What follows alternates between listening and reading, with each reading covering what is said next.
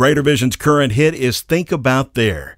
Chris Allman is featured on the song, and this came as a surprise to him. We came to this song, and Rodney said, "Hey, uh, we're doing Think About There next," and I was like, "Okay." And he said, "Well, you know, you you're featured on this," and I didn't realize that. So very quickly, I had to uh, get the demo and go do a quick study, kind of go through it. So what you're hearing on there is really me, literally, as I record it, singing this thing for the first time.